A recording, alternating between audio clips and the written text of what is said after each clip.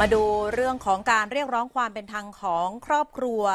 ชาติพันธุ์สองครอบครัวนะคะสองครอบครัวนี้มีสองเหตุการณ์ที่เกิดขึ้นก็คือลูกชายนั้นถูกเจ้าหน้าที่ซึ่งเป็นทหารเนี่ยวิสามันฆาตกรรม ซึ่งศาลเนี่ยพิจารณาแล้วพบว่าทหารเป็นผู้ที่ทำให้ลูกชายของสองครอบครัวนี้เสียชีวิต แต่หนึ่งสิ่งที่ทางครอบครัวติดใจ นั่นก็คือเรื่องของการปฏิบัติของเจ้าหน้าที่ทหาร ว่าเป็นการวิสามันฆาตกรรม โดยเป็นการทำเกินกว่าเหตุหรือไม่ ดังนั้นวันนี้จึงเดินทางมาที่ศาลแพ่งค่ะเพื่อที่จะเป็นการเรียกร้องความเสียหายจากเหตุการณ์ที่เกิดขึ้น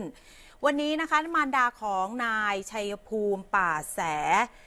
ชาวชาติพันธุ์ลาหู เยาวชนนักกิจกรรมทางสังคม และมารดาของนายอเบแซ่หมู่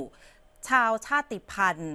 ลีซูนะคะก็เดินทางมายื่นฟ้องร้องต่อศาลแพ่งค่ะ เพื่อที่จะเรียกร้องความเสียหายจากกองทัพบบก กรณีที่บุตรชายของทั้งสองคนถูกทหารวิสามันฆาตกรรม โดยให้เหตุผลนะคะว่าทั้งคู่เนี่ยมีส่วนเกี่ยวข้องกับขบวนการค้ายาเสพติดและขัดขืนการจับกลุ่ม พยายามต่อสู้กับทหารจนกระทั่งเป็นเหตุให้ถูกวิสามัน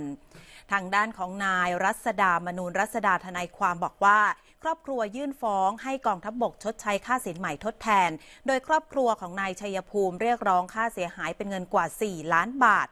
ส่วนครอบครัวของนายอาเบเรียกร้องค่าเสียหายเป็นเงินประมาณ 7 ล้านบาทอย่างไรก็ตามค่ะในส่วนของศาลจังหวัดเชียงใหม่ มีคำสั่งไต่สวนคดีการเสียชีวิตของนายอาเบ โดยมีคำสั่งว่า นายอาเบเสียชีวิตที่พื้นที่เป็นถนน เส้นทางดินลูกลัง ระหว่างหมู่บ้านรินหลวง และหมู่บ้านป่าบงงาม เพราะว่าถูกทหารซึ่งเป็นพลทหารใช้ปืน M16 ยิงเสียชีวิต ส่วนคดีของนายชัยภูมิค่ะศาลมีคำสั่งว่านายชัยภูมิเสียชีวิตที่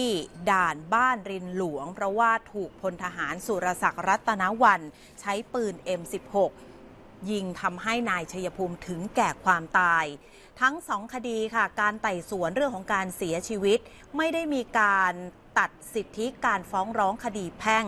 ขณะที่ครอบครัวนายอเบและนายชัยภูมิก็ยังติดใจในสาเหตุ แล้วก็พฤติการแห่งความตายนะคะ ซึ่งมีความเชื่อว่าบุตรชายของตนเองเนี่ยถูกฆาตกรรมโดยทหาร ซึ่งเป็นการกระทำที่เกินกว่าเหตุ